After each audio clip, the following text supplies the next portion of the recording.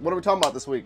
Everyone's like, yo, Luke, you be in LA a lot. You be in New York a lot. The fucking question's always like, which one do you like more? I'm gonna talk about it today. I'm gonna talk about it. I'm talking about balance. I'm gonna talk about being hashtag bi-coastal. If you're bi-coastal curious, this is the video to watch. Nate's just regular bi-curious for the record. New York, LA.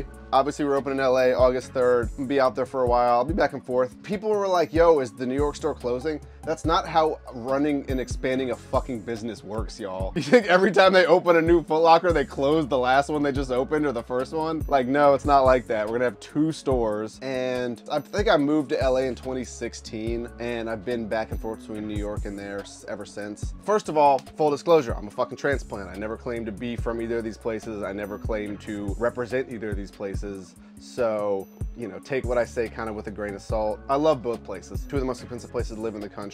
The reason you move here is for the opportunity. You're paying for opportunity. I've gotten more done, met more amazing people, done more crazy shit than I ever thought I would do by being around these places, being outside, meeting people. I think a lot of people are reluctant to move to a big city, but if you're in any sort of, in my opinion, creative or like fashion, music, whatever, like you kind of need to, not necessarily move maybe, but you need to spend time in these places to try to like meet as many people as possible. No one cares about the coolest store in Idaho or fucking St. Louis or whatever.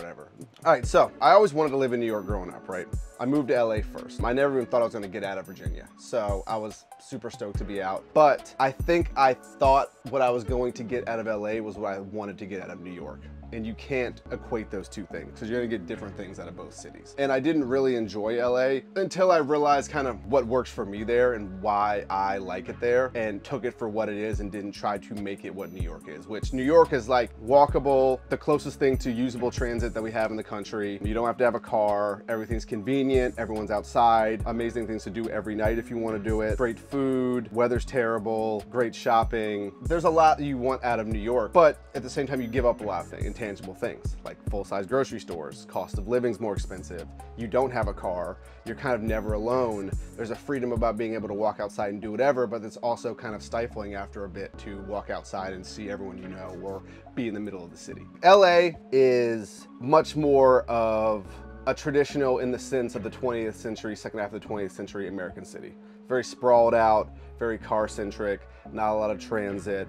You spend a lot of time in your car, Everything has a parking lot, you know, full-sized grocery stores. It's sick living in LA because you kind of get like that suburban regular city lifestyle while still being in a city that has a ton going on and the weather's gorgeous. So for me, like what I like about LA is I kind of go there just to hang out, be at the house, be with my family and just kind of chill and not try to like do too much. So it's just like, what do you kind of want out of each place? And that's why it's nice to have both because like I can, if I want to go relax or chill, I need to get the fuck out of the city, I can go to LA. If I need to like feel invigorated and want to hustle again, I come to New York and like kind of feel that energy. I don't think it's like one is better than the other. No, it's apple. It's apples and oranges. I will say that like I hate when people say, "Oh, the people in New York suck" or "the people in LA suck." Like I've met amazing people who are from both places who do amazing things and have been amazing to me, and I'm blessed to have met those people. And they're fucking sick. You know, there are fake people everywhere. There are fucking weirdos everywhere. There are fucking